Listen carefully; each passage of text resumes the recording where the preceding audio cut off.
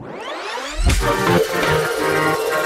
दोस्तों, स्वागत है आपका हमारे शिल्प आपकी फेवरेट सीरियल की रिश्ता क्या कहलाता है? चल रहा है हाई वोल्टेज ड्रामा जहाँ पर अक्षरा और अभिमन्यु की वजह से होगी दादी की मौत।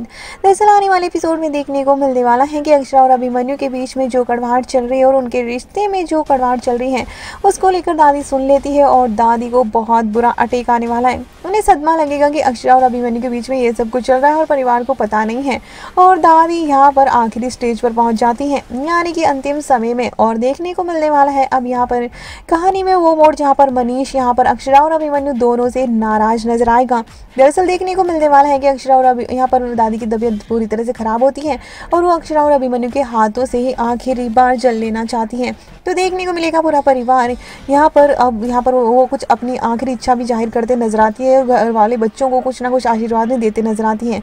लेकिन दादी की रात में इतनी तबीयत खराब होगी कि उन्हें हॉस्पिटलाइज करना पड़ेगा और वहाँ पर अभिमन्यु और अभिमन्यु कहेगा कि उन्हें कोई सदमा ज़रूर लगा है और कहीं उनके रिश्ते की वजह से ये सब कुछ हुआ और ये मनीष और आरोही सुन लेंगे, जिसके बाद में आरोही इस बात का तमाशा बनाते नज़र आएँगे और कहेगी कि दादी की मौत किसी और की वजह से नहीं, मीमी की मौत तो ये अक्षरा की वजह से हुई है और वो इसका इल्ज़ाम भी अक्षरा पर थोपते नज़र आएगी, क्योंकि उनके रिश्ते के बारे में वो सबके सामने खुलासा कर देगी कि इन दोनों के बीच में अनबन की वजह से मीमी को सदमा लगा और ये सब कुछ हो गया। और अब अक्षरा को घर वालों की अक्षरा को के खिलाफ घर वालों को भड़काने की कोशिश करेगी।